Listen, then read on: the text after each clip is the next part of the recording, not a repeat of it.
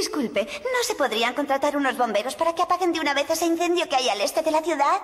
A fregar.